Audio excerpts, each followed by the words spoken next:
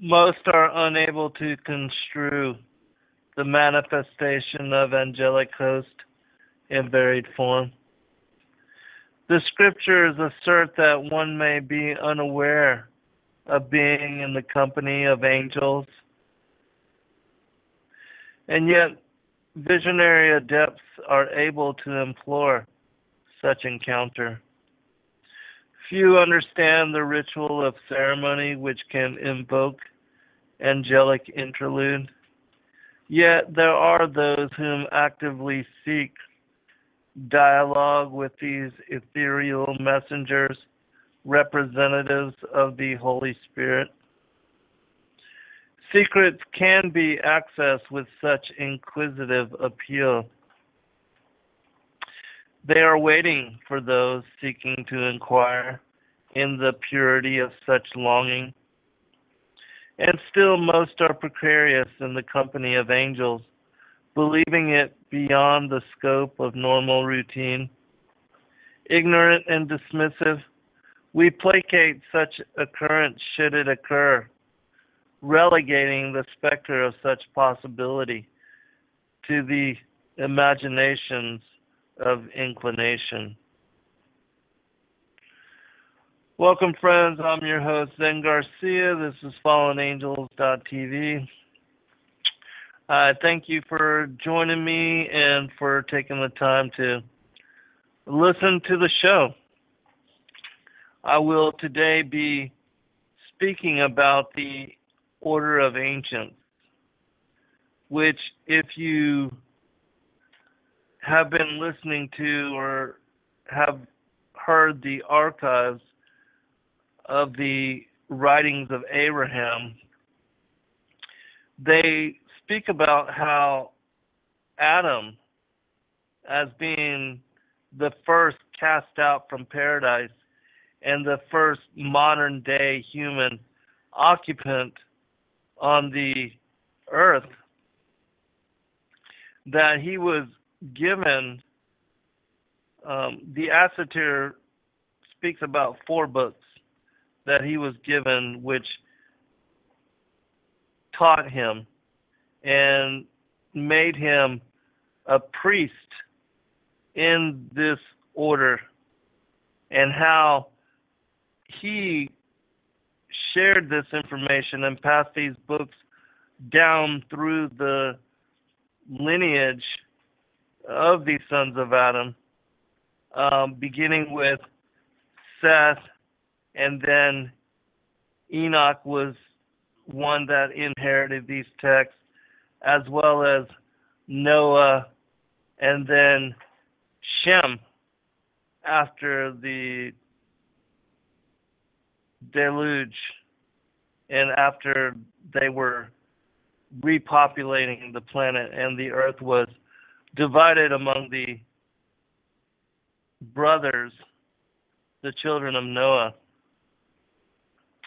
And Abraham also was indoctrinated into this order, and the writings of Abraham speak about this in great detail. And they talk about how those that are part of this order how they share all things, as did the Essenes, or what is historically written about, uh, documented about the this secretive group which had gathered together and hidden the Dead Sea Scrolls during the times that they were being persecuted. And so, um, so we're going to gain some detail on this particular order because it lets you know, as is mentioned in um, the Emerald Tablets, when it speaks about the gathering of both the order of light as well as the the children of Belial, the sons of perdition, how they created the different secret societies that were um, tied to the fallen angels and Lucifer as the light bearer, the order of the dragons, and uh, the other ancient, you know, those the Freemasonic groups that go back to even before the time of Babylon and Egypt, um, to when these two groups split. Um, and this was even before the time of Atlantis. And so the one of the Dead Sea Scrolls talks about the war between the sons of light, the sons of the law, and the sons of darkness. And this is also spoken about um, with the enmity that began in the garden. Well, it actually began with the war in heaven and Lucifer's assertion to that he would exalt himself above the sides of the north and sit on the throne of God and to be like the the most high that when he had that when he conceived this thought in his mind that this is when iniquity was found within him and that he was then banished with the one third of the angels that joined him in rebellion for the war in heaven. They were cast out of the upper heavens and they took up residence in this solar system in this um, you know in the this particular um, part of the galaxy and came to be residents here upon the earth. And so this war has been ongoing since the garden with the birth of Cain and Abel, and that this would be the continuation of that war, and this war would continue until Christ comes again and separates the wheat and the tare, the goat and the sheep, um, the wise from the foolish virgins. And so, if you really understand, and I know I've explained this in great detail, if you really understand the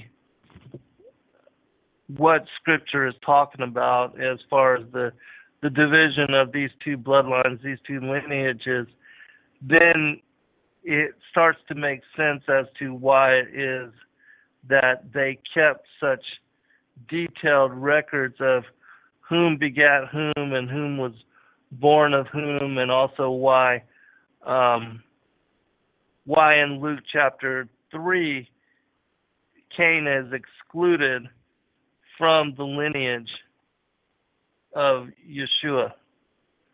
Uh, welcome, everybody in the chat, Son of Yahweh, and Demolishing Strongholds, and Link, and the other numbered guests, and those that will come at later time to catch this show. Um, and the text that I'm going to be reading from is called the Book of Order. And it's not one that I have ever heard about, and I've never heard of anybody talking about this particular text. Um, but it supposedly was written by Elijah the Tishbite before he was taken up to, um, you know, became, um, was taken up to the heavens. Just like Enoch wrote the book of Enoch, as well as it says many other texts before he was translated to the heavens. Um, and so this is one of those texts. And I'm going to go ahead and go into it. If you have any questions, put them in the chat room and I will address them. Um, Oh, Link is asking about the the music at the beginning of the show. Um, it's the song is called "Flock of Angels," and the artist is Mo Leverett, M O uh, L E V E R E T T, which he's um, a friend of. Uh, he's the brother of a friend that I used to work with down in Macon. And yes, it's um, absolutely beautiful. I believe the album album's name is um, Sacred Desires.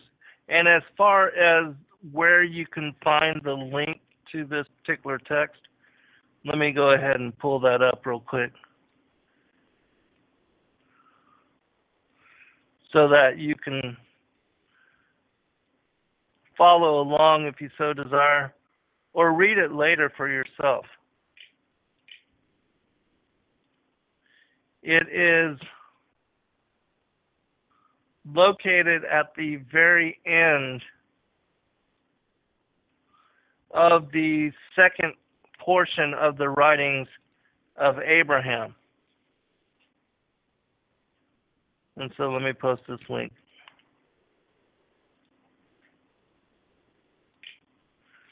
All right. You can click on that link to find the text. And again, it's at the end of, I believe it's chapter 160, if I'm correct.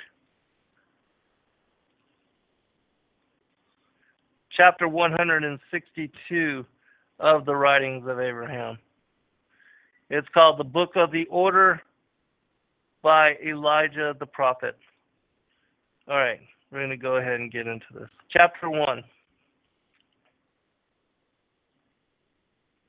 The record of Elijah the Tishbite, which he wrote for his disciple Elisha, whom he called from his field in Abba, Abba Abimaholah unto the holy order of God Behold, I, Elijah, write this record with mine own hand, and no man shall see it until I have ascended into heaven. Then shall mine authority and the keys of my priesthood, which is the priesthood of the fathers, pass to my son Elisha by right of lineage and obedience. This priesthood came down to me from the fathers by lineage, for I am a descendant of Joshua the son of Nun who was descended from Ephraim, the son of Joseph, through whom the rights of the firstborn descended in Israel. These rights I received when I was but a lad from my father before he was martyred for the testimony of Jehovah and according to the word of the Lord. I have appointed Elisha, who is mine adopted son, to be my successor in bearing off this work. Nevertheless, not all of my rights shall rest upon him, for the Lord hath said, Behold, my servant Elijah shall not die, but shall bear with him the keys of his ministry unto the heavenly city until the last days, when I shall send him unto one of his seed, whom I shall raise up to bear the fullness of this ministry again among the sons of men. Um, uh, if you have not heard, I, I did a show a long time ago called Revelation, the two witnesses of Revelation 11, and I explained in that particular show with many different confirmations from several different texts, which point to the um, my belief that the two witnesses of Revelation 11 will be Enoch and Elijah. And that because they were translated before they died, they will at that time be martyred in the streets of Jerusalem, killed by the Antichrist, and allowed to to lay there for three and a half days before they would be uh, resurrected and um, taken to heaven. And so, if you're interested in in you know his mention here, um, check out that particular show. All right, continue. But he shall leave with Elisha those keys necessary to continue his work, in organizing the schools of the prophets and the order of Enoch, that the sons of the prophets may continue to live after the holy order of God. Chapter 2. Therefore, my son Elisha, I leave for thee this book of the order by which thou mayest govern the order of Enoch, for I have organized and governed this order according to the revelations of the Lord to me, and under the direction of his Holy Spirit, I give thee these instructions. Everyone who desireth to enter the order of Enoch must be one who loveth the Lord his God with all his heart might, mind, and strength, and one who loveth his fellow man as himself, according to the word of the Lord through Moses. I would also comment that this is exactly what uh, Yeshua said of the commandments um, that you know that you must love the Lord God with all your heart, as well as your neighbor as you would yourself, and that was the whole of the law as it was based upon love. He must covenant to live the law of consecration and to hold all things common with his brethren according to the pattern set by our first parents. For when they came forth from the garden, they divided not up the land, but held it in common until their posterity, through wickedness, began to lay claim to it for themselves. Behold, this private ownership of the property came to pass through the teachings of that evil combination which was organized by Cain, that men might set gain for themselves because the love of God and man is not in them. He who entereth the order must be one who is dedicated to seeing the face of God and receiving from him the promise of eternal life. We, he must keep the commandments and statutes of the Lord his God to do what is good and upright in the sight of God according to that which he commanded through Moses the lawgiver and through his servants the prophets. He who seeketh to enter the holy order of God must be one who loveth that which the Lord loveth and hateth that which the Lord hateth. He must keep all the evil from him and love to do good that his works may bear testimony of his righteousness before God and man. He must be governed by the principles of truth, righteousness, and justice in all he doeth, while in this tabernacle of clay, having repented of his inclination to follow after the dictates of the flesh no longer doing evil according to the selfishness and jealousy and contentions, contentious spirit which dwelleth in the natural man.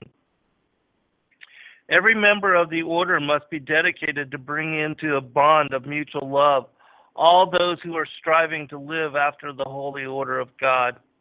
To live after the order of the ancient means that they must live in the community of God's elect holding all things common and loving one another as themselves. Yea, they must unite in one heart and one mind, for only thus can Zion be built up in its perfect order, and the name of our God be glorified. Those entering the holy order must have shown by their works their desires to live according to all that God has revealed, to keep all his commandments, to perfect their lives according to God's holy order, that they may be sanctified by the blood of the covenant unto the renewal of their spirits and their bodies. They must love all the children of light, each according to his position in the house of God. For those who live the highest law are most able to be loved, and so forth, even unto the lowest law of God. They must hate the works of darkness and avoid intercourse with the sons of Belial, each according to the measure of his guilt. For God will bring every work into judgment, and those who associate with the wicked will be condemned with them. Chapter 3 He who loveth the truth and truly desires to live after the order of heaven must declare his willingness to be united to the congregation of the Lord's elect and must consecrate by covenant all of his mind, all of his strength, and all of his wealth to the community of God, so that his mind may be purified by the truth of the Lord's precepts, his strength controlled by the Lord's, Lord's perfect ways, and his wealth disposed of in accordance with the Lord's just design.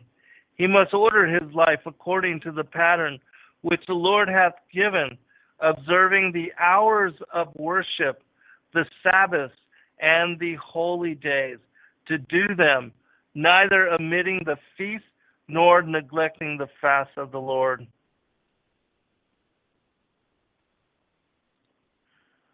This particular passage is really interesting to me because uh, in the book that I'm currently working on, it one of the main focuses of that text is making people aware of God's calendar and as well as how um, understanding his calendar and following it makes us be enables us to really determine what is truly Sabbath, as well as the holy days, um, you know, and their links to uh, Passover, um, the Feast of Unleavened Bread, um, the Festival of First Fruits, Pentecost, um, the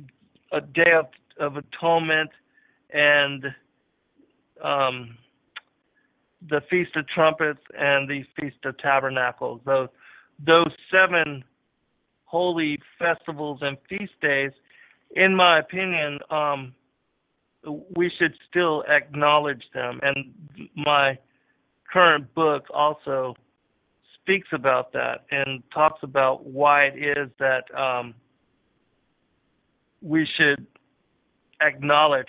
And when I say acknowledge, I, I don't mean in celebrating them or upholding or maintaining them in the way that is um, ascribed for us or for the Hebrew people to do in Leviticus chapter 23. Uh, if you don't know what I'm talking about, Leviticus chapter 23 lays down all of these particular feast days and festivals, and they have been um, followed by the Hebrew people since ancient times. And um, and also, if you don't know, the Yeshua, when he first came into the flesh, he fulfilled the the three first festivals um, because he was crucified on Passover. He was buried on the day of unleavened bread, and then he was um, was resurrected on the um, on first fruits, and also um, 50 days after, which, if you don't know what the celebration of Pentecost is, Pentecost was when and, and is recognized and celebrated uh, because it is the 50 days. It's the count of 50 days, and it equates to the Hebrew people being freed from the bondage of Israel freed from the slavery and the bondage of Israel, and the 50 days that brought them to Mount um, Mount Sinai, and it was on that day that Moses was delivered the Torah, given the law, and this law is, you know, what the Torah is what the Hebrew people follow as the law and is the covenant that they share with Yahweh, Yahuwah, the Most High God. And it was also uh, 50 days after the resurrection of Yeshua that the Holy Spirit came upon the apostles and um, filled them so that they could go and deliver the message to all the rest of the world.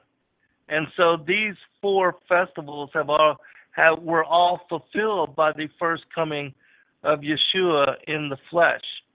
And the next three, the tabernacles, uh, the Day of Atonement, and the Feast of Trumpets, those will be fulfilled by Yeshua's return. And so, because um, a lot of people don't know how these feast days, these holy festivals as laid out in the Old Testament, how they correspond to our current um, worship of the only begotten Son. And so once you understand that, then you'll understand why it is that we should still acknowledge the Leviticus 23 holy days. And so my next book has a lot of that within within it as well. All right, uh, continuing. He must be done. He must be one whose heart is knit unto the ordinances of God's law, who will strive diligently to preserve them in purity, neither breaking the laws, changing the ordinances, nor neglecting the everlasting covenants of our God. Chapter 4. When such a man cometh forward to present himself as a candidate for admission into the order, he should be examined carefully by the elders of the community. And having been proven worthy, he must enter into a covenant in the presence of God, the holy angels, and his brethren of the order by entering into the waters of immersion, being baptized, the waters of immersion that he will do according to all that God hath commanded, and not turn away from the service of the Lord through fear of wicked men or evil spirits, nor through discouragement because of the trials which Belial shall send against him. For the Lord God of our fathers hath appointed that all who seek to live after his holy order shall be tried and purified until their gold is pure and their dross consumed. It, it was the same thing for Yeshua when he was baptized in the river Jordan by John the Baptist.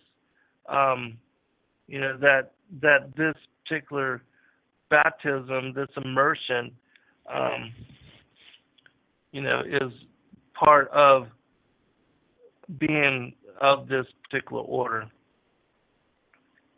And I, am going to check the chat room in just a few minutes, um, just in case you commented on the uh, the festivals or the feast days or anything of that that nature. When a man hath entered into this covenant in the waters of immersion, the elders of the community are to lay their hands upon his head and bless him with the Holy Spirit of God. Chapter 5. At the end of each year, every member of the community is to be interviewed from first to last, that the spiritual standing of each in the community may be determined.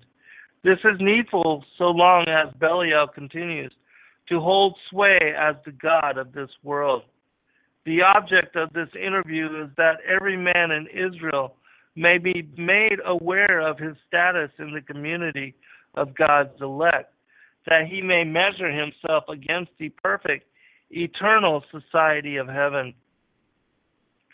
If any man finds that he is being governed by a law which is beyond his desires, then let him be placed among those who live after his own heart. And if any man will qualify himself to live a law higher than he is living, let let the opportunity be given him to live that law. Thus, no man in Israel need be abased below his ability to qualify, nor exalted above his desires to live after the heavenly pattern. And thus all members of the community will stand, each in his proper place according to a true evaluation of his standing before God. Let those who judge in these matters judge according to correct principle, in profound humility, being full of charity and equity toward their brethren and sisters, that the society of heaven may flourish among you, being sanctified by love and unity in the Lord our God. Chapter 6 Anyone who refuses to live after the pattern of God's holy order, the perfect society of heaven, but persists in walking after the stubbornness of his own heart and the vain traditions of his fathers, shall not be admitted into the community of God's elect. For inasmuch as he has rebelled against the discipline required of those who are called to set their lives in order according to the precepts of the heavenly law, he cannot be counted among the saints of the Most High. The spiritual, mental, physical, and material resources of such a man are of no value to the community of God's elect. Therefore, he shall not be permitted to enter into the order of Enoch to live after the pattern of heaven. If he were honest in acknowledging his weaknesses before God, then would the Lord make his weaknesses to become strength unto him. But inasmuch as his heart remaineth stubborn, and he repenteth not, he shall remain in his sins. Such an one looketh upon the light of God's truth, but seeth only darkness. He can never be sanctified because the light is not in him, that he should be born again a new creature in the Lord. Although he should offer numerous sacrifices in the similitude of the Lamb of God and be immersed in water any number of times and be washed and anointed after the order of the Messiah, yet he can never be cleansed from his sins except through contrition and repentance, wherein he rejecteth his former works and walketh in the path which our fathers walked it, which is the holy order of God.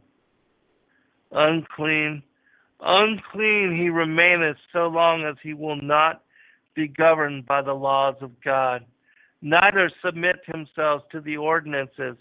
He shall never enter into communion with the heavenly hosts. It is only when the spirit of man hath been awakened to the right of God's truth that he can begin to direct his life according to those holy principles by which he can ascend into the presence of God and make his calling and election sure. Only through obedience to those laws and that holy order which have been handed down from our fathers who entered into the presence of the Lord and held communion with the general assembly and church of the firstborn, can a man sanctify his life to commune with the fathers who have gone on before him? Thus can the blessings and rights and the priesthood of the fathers descend upon the heads, and they shall dwell in the courts of the sanctified in time and eternity. For only through obedience to the laws and ordinances of God, walking faithfully after his holy order and enduring unto the end, therein can a man be redeemed from the fall and gain a remission of all his sins, so that his mind can be opened to gaze upon the true light of life. I'm going to comment here and also check the chat room. Um,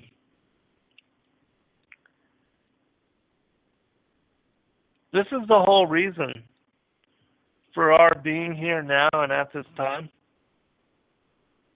is to return to our immortal bright nature to return to our first estate to become sons of God angelic and able to stand in the light in the presence of the Most High God. And the Son, you know, both are the same. The Father and the Son are are are, are the same. And so, um, just like Enoch, in I believe it's the second book of Enoch, the book of the secrets of Enoch, when he spoke about what it was like. You know, I should actually read that. Um, when he spoke about what it was like to be in the presence of the Most High God and how it was absolutely mind blowing in that he it was difficult for him to withstand and to be there because he was horrified. He was terrified at being before God and being left on the seventh heaven, which I've got that here, so let me share that with you. I'm looking for the exact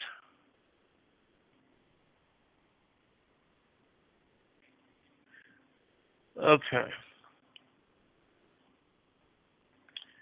Okay, here we go. And the Lord sent one of his glorious ones, the archangel Gabriel, and he said to me, Be brave, Enoch. Don't be frightened. Stand up and come with me and stand in front of the face of the Lord forever. And I answered, I answered him and said, Woe to me, my Lord! My soul has departed from me from fear and horror. And call to me the two men who brought me to this place, because I have put my confidence in them, and with them I will go before the face of the Lord. And Gabriel carried me up like a leaf carried up by the wind. He moved me along and put me down in front of the face of the Lord. And I saw the eighth heaven, which is called in the Hebrew language Muzalloth, the changer of the seasons of dry and of wet, and the twelve zodiacs which are above the seventh heaven. And I saw the ninth heaven, which in the Hebrew language is called Kushavim, where the heavenly houses of the twelve zodiacs are. In the tenth heaven, the archangel Michael brought forth Enoch in front of the face of the Lord. And on the tenth heaven, Aravath, I saw the view of the face of the Lord, like iron made burning hot in a fire, and brought out, and it emits sparks, and is incandescent. Thus, even I saw the face of the Lord, but the face of the Lord is not to be talked about. It is so very marvelous and supremely awesome and supremely frightening and who am I to give an account of the incomprehensible being of the Lord and of his face, so extremely strange and indescribable? And how many are his commands and his multiple voice, and the Lord's throne supremely great and not made by hands? And the choir stalls all around him, the cherubim and the seraphim armies, and their never silent singing. Who can give an account of his beautiful appearance, never changing and indescribable, and his great glory? And I fell down flat and did obeisance to the Lord. And the Lord with his own mouth said to me, Be brave, Enoch. Don't be frightened. Stand up and stand in front of my face forever. And Michael, the Lord's archistratig,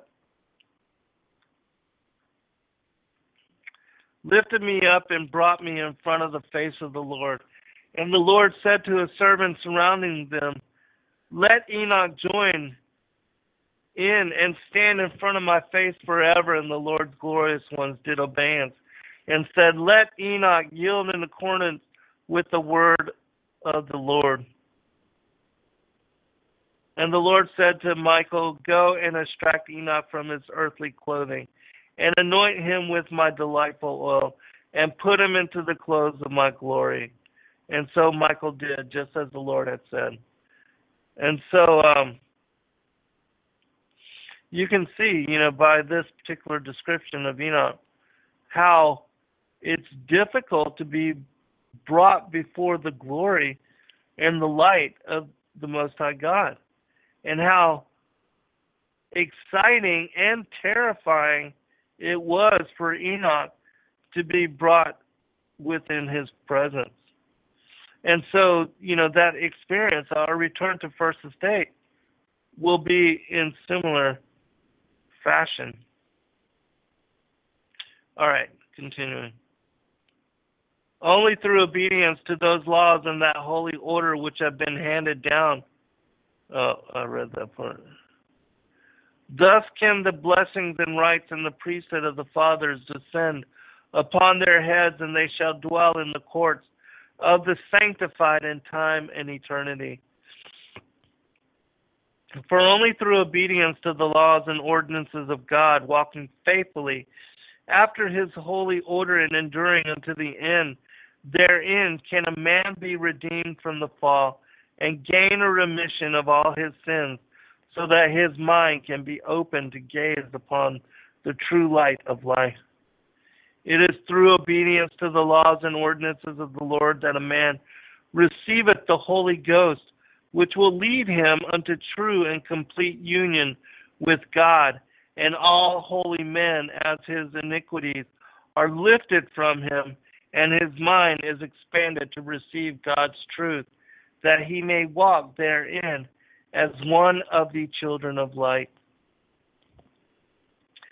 For the atonement of the Lamb of God cometh upon all those who are upright and humble and submissive to all the ordinances of God, that their sins should be washed away in the waters of immersion, and that and they be sanctified through the blood of the covenant and immersion in fire and in the Holy Ghost.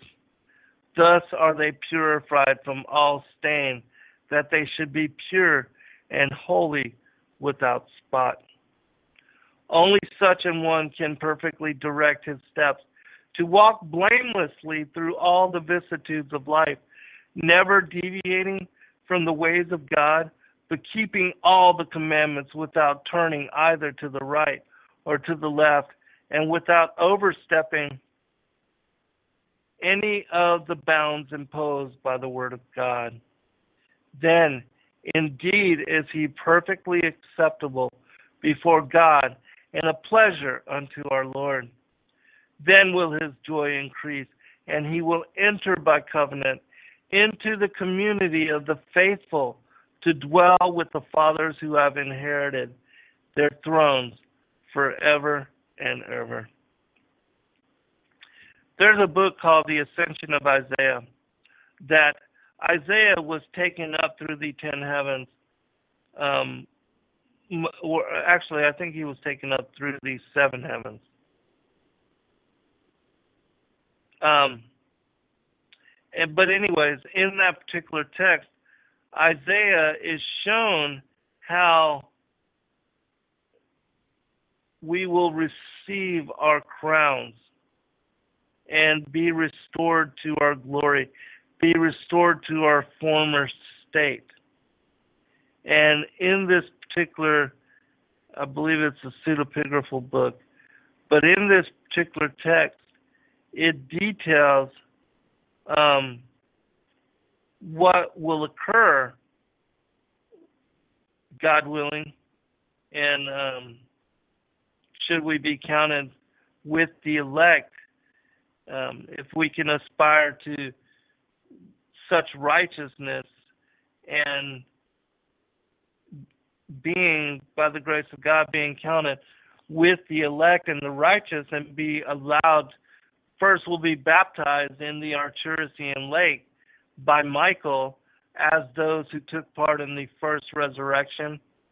And when Yeshua died, um, was crucified, the three days that he was in the tomb, when he went down and freed the the spirits of the patriarchs that were living in Abraham's bosom up until that time.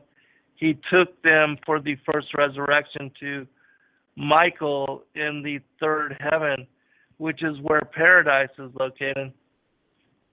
And they were baptized in the Acherusian lake and then clothed in glory, reclothed in light, and allowed to enter into the the city of Jerusalem, which is the city of Enoch, um, which is the place of the righteous, and um, and there they would remain, but no one will receive their crowns of glory until Yeshua comes and judges all and resurrects everyone and brings them all before him for judgment as he is judge and jury.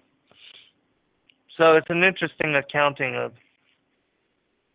Oh, also another text um, which gives great detail on what I'm talking about is called the Vision of Paul, and it talks about uh, even from the point of death how the the soul of, of humanity of a man or a woman that that dies, how both the angels of perdition and the angels of light both come to claim this particular soul. And if there's any iniquity, any wickedness, any darkness found within this this being, that the angels of wickedness, uh, the children of perdition, the sons of Belial, um, the tormentors, the angels of hell, they can claim him, her, and take them down to um, Tartar, not Tartarus, because that's the place of the angels, but Sheol. And if no such darkness or wickedness is found within within them, then they the angels will glory, the angel choir will sing loudly, and they will be allowed entrance into the city of the saints. Chapter 7. Those who enter into covenant to hold all things common according to the order of Enoch and faithfully adhere to the order of the ancient should be instructed that their minds may be open to the vision of eternity and how the order of heaven can be established and perpetuated here on the earth. He who is called to instruct the children of light in these matters must understand and teach the disciples the true nature of man, the different influences which form his character, the meaning of his history, and the reason that God at one time blesseth him bounteously and at another time afflicteth him dreadfully. This is the hidden knowledge, the application of which redeemeth man from his natural state, and ushereth him into the holy order of God, where he can be prepared to enter into the presence of God himself and partake of the fruits of eternal life. The Lord is a God of knowledge, chapter 8. But his word was everything made which was made, and he governeth all things according to his infinite foreknowledge even before he created the heavens and the earth, he counseled with the hosts of heaven and planned a plan wherein the spirit of every man should have his appointed role. For the spirit of every man appeareth before the Lord of spirits in the beginning, and received a place appointed in the family of heaven and earth. Remember, um, in my seventh book, Skyfall, I speak about this and how in Psalms 82, where it talks about the council of the mighty and how we would all be appointed to die the death of man, this is that same thing. Um, meaning, in Ephesians chapter 1, it speaks about our predestination and how we were all um, to incarnate into the flesh, but that we had pre existed, that we had been um, part of the sons of God in our previous spiritual life. And how and how we were during our spiritual being, and especially in regard to the war in heaven, um, how that determined our election, as well as the circumstances and situation uh, that we would be born into here upon this planet. So all of that is so very interesting when you consider it as far as the larger picture of who we are while we're here and what all of this is about. It really is um, a mind blowing concept to consider that we are immortal beings and that we have been here from even the beginning because we were with and that there is no beginning because we were with the father and the son part of them before they even created gave form consciousness to the angelic hosts to our bringing we were as collective part of the fullness of creation that was God before we were manifest into our individual angelic selves. If that makes sense. All right, continue. When a man filleth his appointed role, it is according to the glorious design of the Lord of spirits, and thus, as each one functions according to the divine plan, the work of God is pushed towards its consummation. Uh, again, this, you know, my whole seventh book has to do with awakening to remembrance, coming to understand who you are and who you once were before incarnating into the flesh, and that understanding that we are angelic spirits caught up in a fallen state of being, in a fallen form but that because we are, you know, these glorious angelic beings, that we have special role, purpose, and mission for being here upon this planet, more so than just the roles we assume as being born into matrix and thinking that we're only here to find a spouse and to have children and to make enough money to leave uh, as legacy, you know, uh, an inheritance for our children. Um, that's that's a part of it, but that's not the real. That's not our spiritual reason for being here. That has to do with our a return to our first estate and with prioritizing the kingdom so that we can truly truly come to remembrance on what we are really here to do.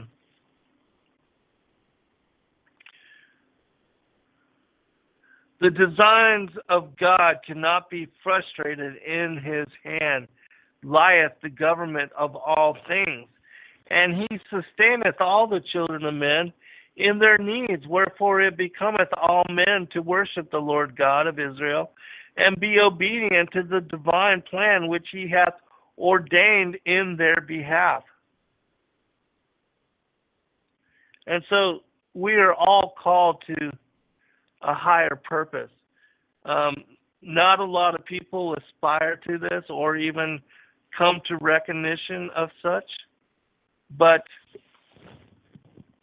the Most High God has um, a special purpose, a special role and mission for each one of us. Chapter 9. Now the God of the spirits of all men created man to rule the world and world and set before him the ways of life and death, truth and falsehood. Thus was man made free even from the beginning to choose for himself the good or the evil, until the final judgment when the works of every man shall be made manifest, and each shall receive a just reward, according to his works, requisite with the mercy of our God. 10. The origin of truth lieth in the fountain of light, the Holy One of Israel, while the origin of falsehood or evil lieth in the wellspring of darkness. All who practice righteousness are under the domination of the Prince of Lights and walk in the path of light, while those who practice evil are under the domination of the angel of darkness and walk in the path of darkness. Yea, the angel of darkness is the devil, that evil spirit who lieth in wait to entrap the souls of men and drag them down to misery and woe. He lieth in wait at any opportunity to lead the unwary soul into sin and error, so that through his evil influence, even the children of light are led to commit those things which are grievous in the eyes of God. When men of their own free will choose to follow the influence of this enemy of all righteousness, they fall from the grace of God of heaven and must repent of their iniquities, that the Lord can visit them in his mercy and redeem them from their sins, that they may know to sing the song of redeeming love. All the afflictions which befall the children of men, all their trials, all their sorrows, result from the acts of this prince of evil. He and all his hosts are dedicated to causing the children of light to fall from grace and become enmeshed in their snares.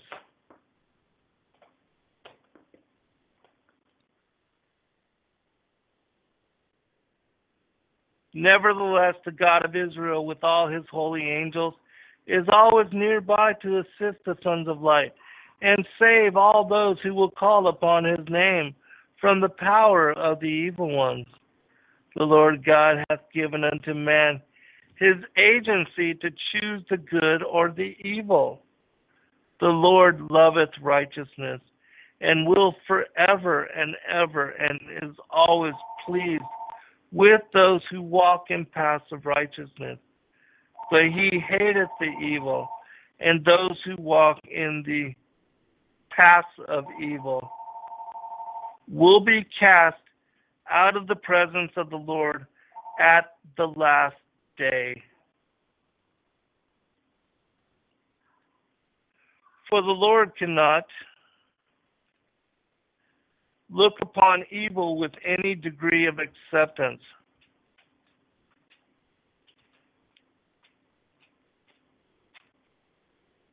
Nor can those who love evil dwell in his presence. Chapter 11.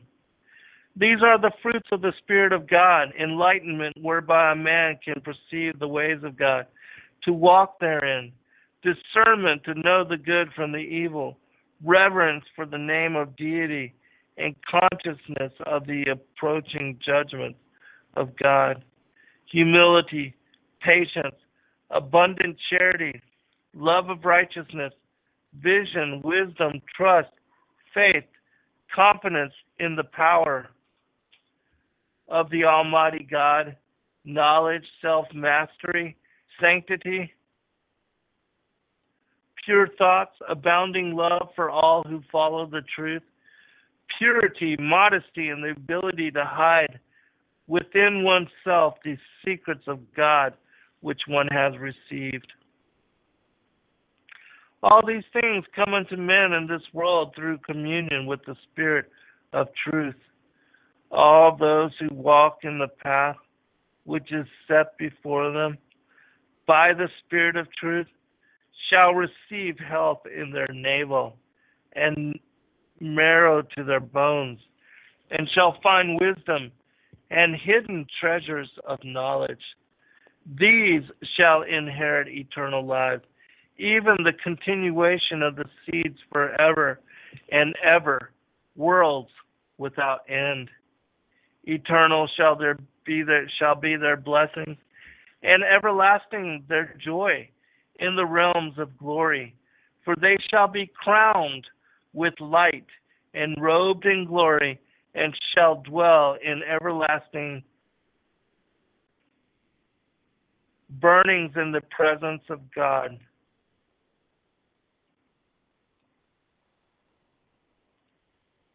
Chapter 12. With the wicked it is not so. For the fruits of wickedness are greed, malice, falsehood, pride, presumption, deception, guile, insolence, unrighteousness, anger, folly, arrogance, lewdness, unchastity, blasphemies, selfishness, blindness of the eyes, deafness of the ears, stiffness of neck, and hardness of heart. Such men walk entirely in the ways of darkness, and all their works are evil, abominable in the eyes of God. Those who walk in the paths of evil shall receive a multitude of afflictions at the hands of the holy angels. These are the sons of perdition who are subject to the wrath of God through all eternity. Eternal horror is their end and perpetual reproach, even the disgrace of final annihilation in the fire. For they shall dwell in outer darkness until their end, which is extinction, without remnant or survival. And after this, their lot no man knoweth, nor is it revealed to any man save those who are made partakers thereof.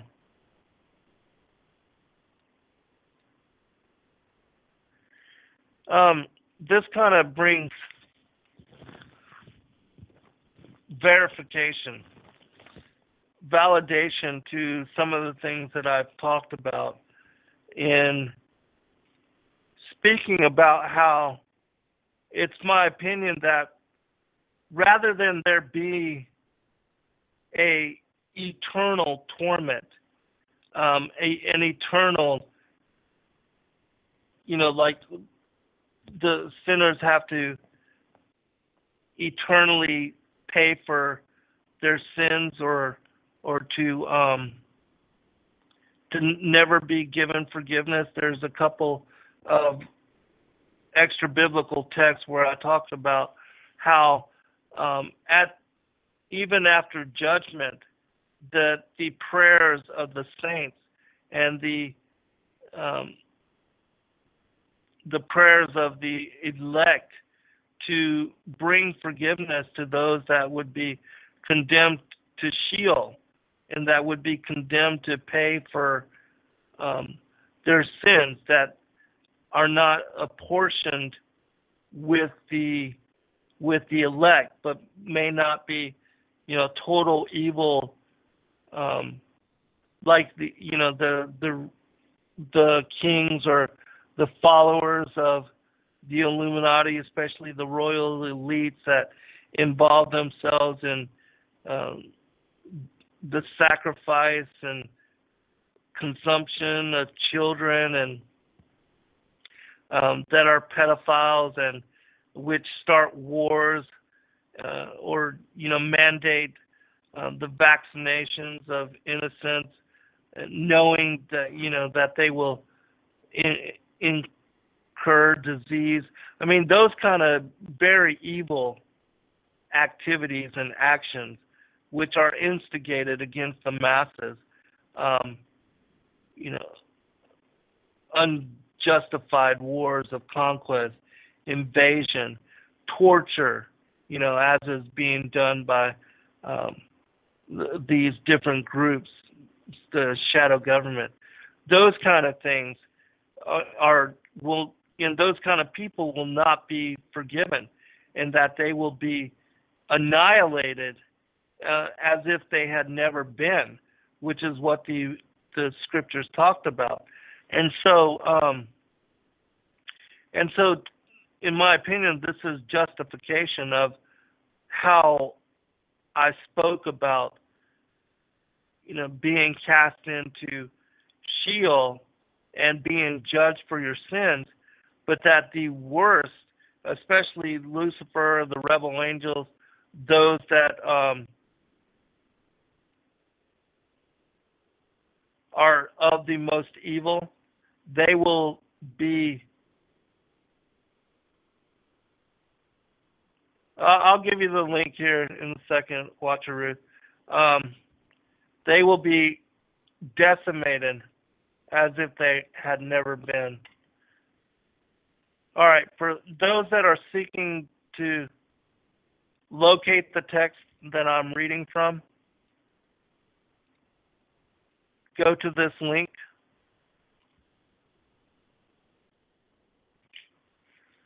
And it's the text which is right after the writing, the second part of the writings of Abraham. Go past chapter 162, and you'll find the order, the book of the order. You're welcome, sister. God bless you. All right, so I'm going to get back to reading this. Chapter 13.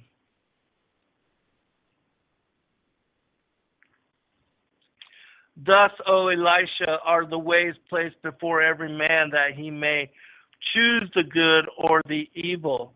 This is man free to choose for himself. For the Lord will force no man to choose the right, and the devil cannot force him to choose evil. Between good and evil there is an eternal enmity. They cannot exist together in peace.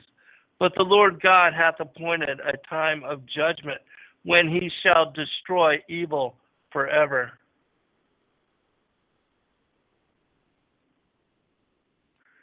Oh, what a glorious day that will be. So looking forward to that day. Then will truth emerge triumphant and shall cover the earth as the waters cover the seas.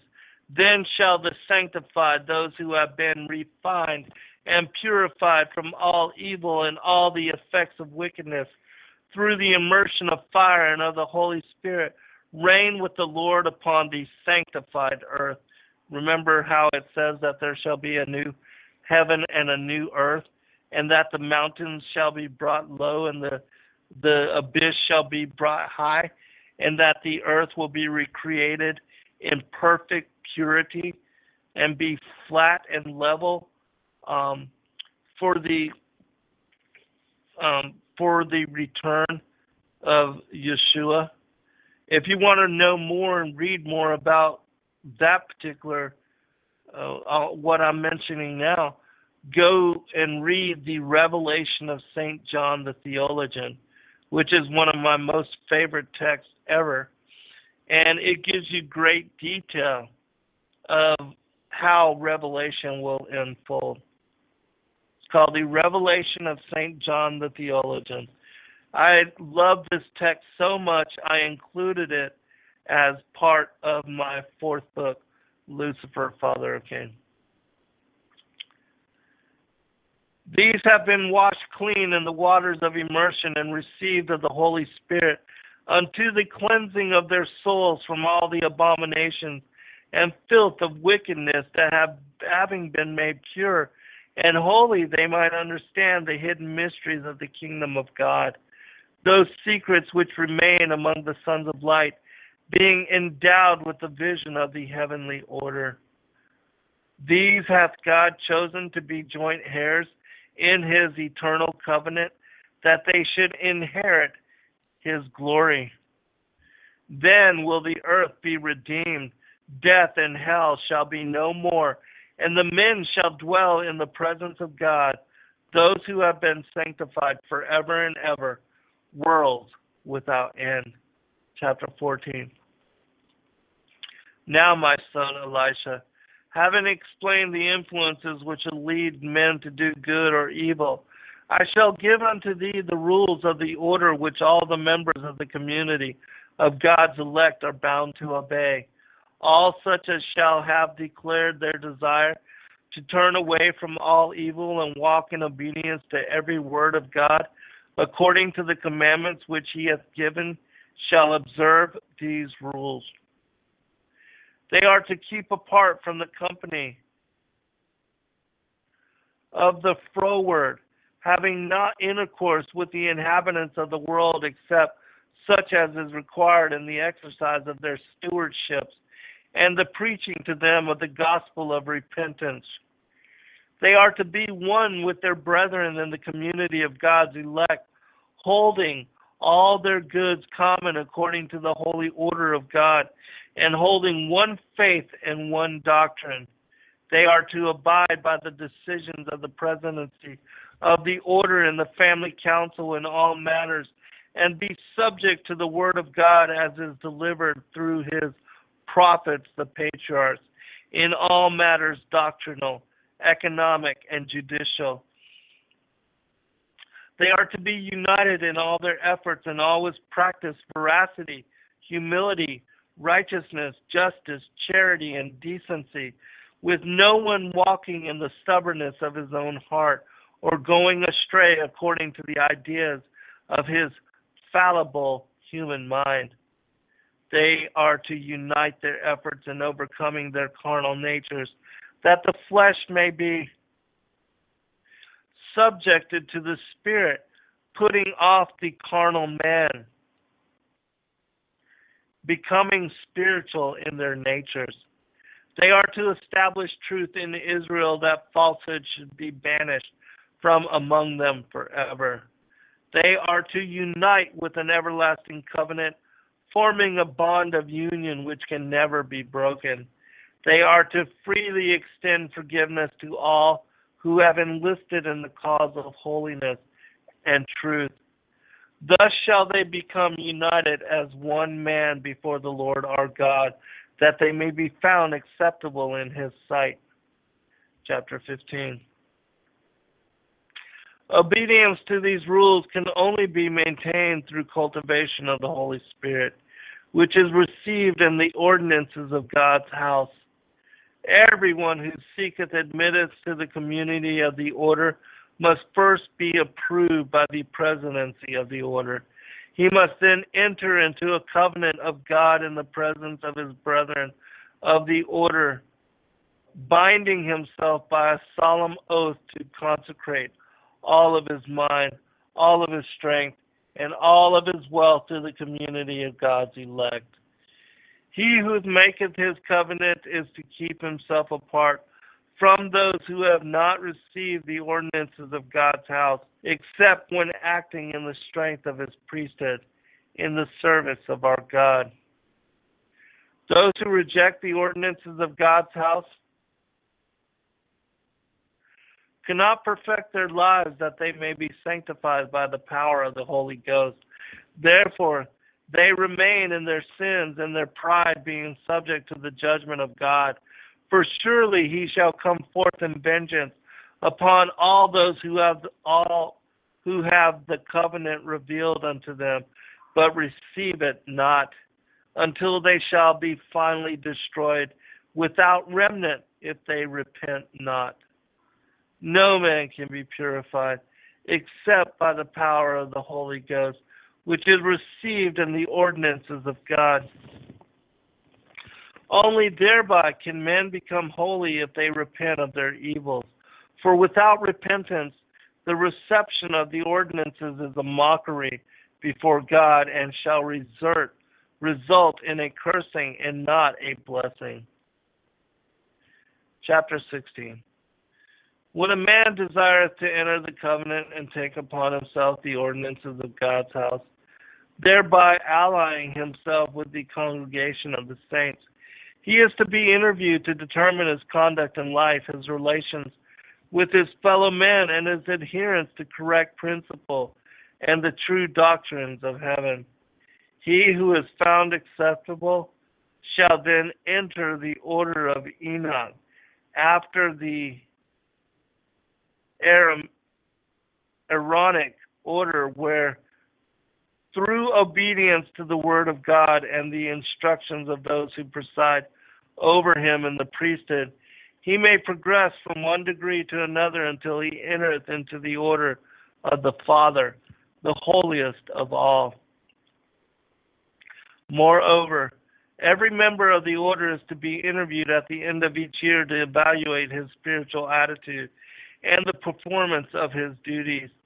Thus, by annual and other interviews, the standing of each man in the community may be made evident that the righteous may be promoted by virtue of their increased understanding and the integrity of their conduct, while the froward shall be denoted for their waywardness. Chapter 17.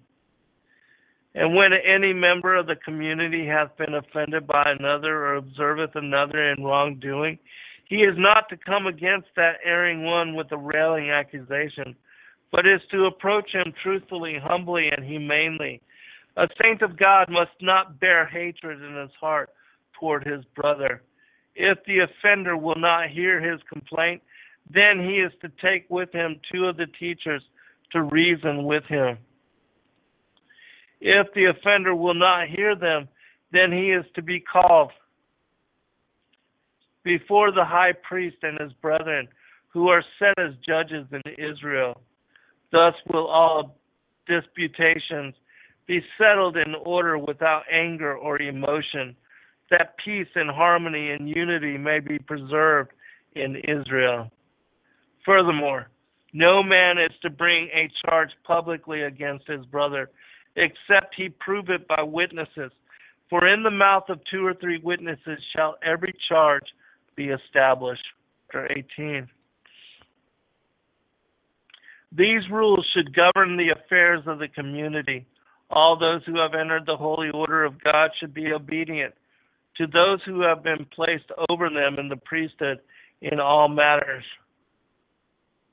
as especially those relating to the order of Enoch. All the elect are to eat at a common table, assemble at every appointed time to worship the Lord their God, and attend all councils to which they are invited. They are to attend the schools of the priesthood, where they can be instructed in the order of heaven. They are to neither eat nor drink that which hath not been blessed and sanctified. They shall assemble at sunrise, high noon, and sundown to praise the Lord their God and worship before his throne. They shall meet together often to study the word of God and share the word of life. Chapter 19. The council of the order is to be conducted according to the laws of God. Every member is to have an equal opportunity to give his opinion in the council. No one, however, is to interrupt while his brother is speaking, not to speak until he is finished. Everyone is to speak in turn as he is called upon. No one is to speak on any subject which is not the concern of that council. Thus, by reasoning together, will the council determine the will of God that all things in the order may be done to the glory of God of Israel. Chapter 20. Regarding the teaching of this order, O Elisha, no one is to engage in discussion or disputation with another concerning the law of God, nor is it to be discussed with those who are not sincerely seeking the truth. With those, however, that have chosen the right path, everyone is to discuss matters pertaining to the knowledge of God's truth and of his righteous judgments. The purpose of such discussions is to guide the minds of the members of the community to give them insight into God's hidden wonders and truth and to bring them to walk blamelessly each with his neighbor in harmony with all that has been revealed to them. For this life is a time of preparation for meeting the Lord in a time when the elect must be careful not to mingle with the wicked, lest they be led to turn aside from the way through the cunning craftiness of the evil ones. Um, this will be the last chapter that I read. today. We'll finish up this text next week. Chapter 21. Thus must the elect be careful to live by every word of God.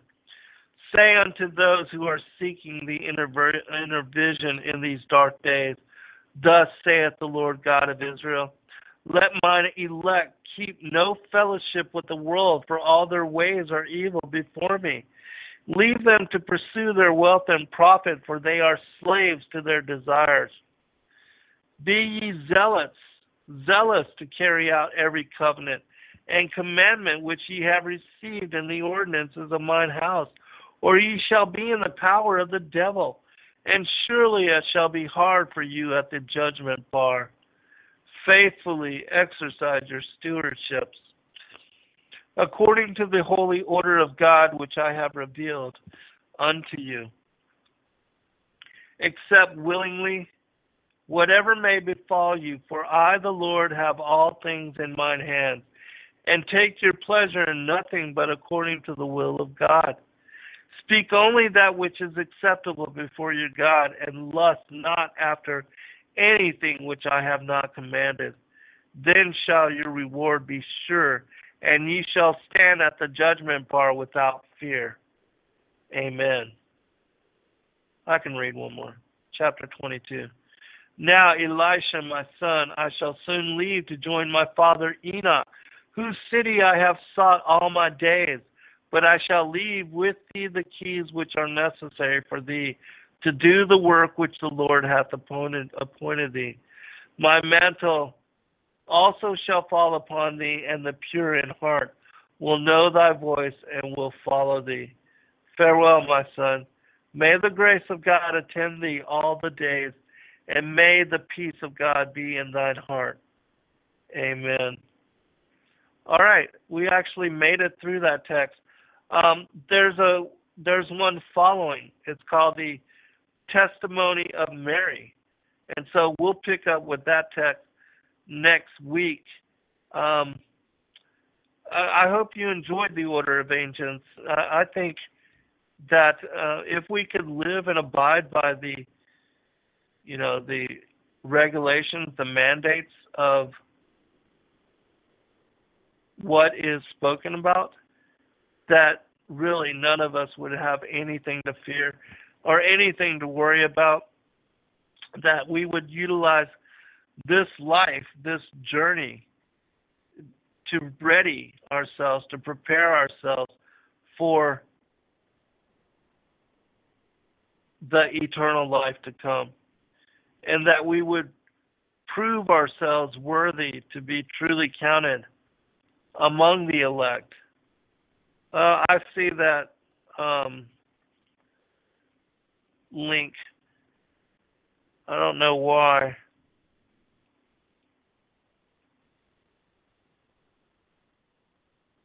It should be. Uh, let me check because uh, otherwise I got it from somewhere else. Absolutely right. Um, I must have got this text from somewhere else, and so I, I'll try to find it and then I'll post it in the description of this particular show. Um, you know, I, I I save all the texts that I find because I know that so many times they will get deleted, or that you know whole websites get wiped out. And so, came across this particular text, and um, we'll pick up next week with that other text that I had made mention of. I, I forget where I located this particular book. I, I've got I can't even tell you how many I have saved. I should probably, at some point, if I ever get time, compile them into one huge collection and publish them so that those that are interested can have all of them before. And maybe I'll do that at some point um, if I get the time.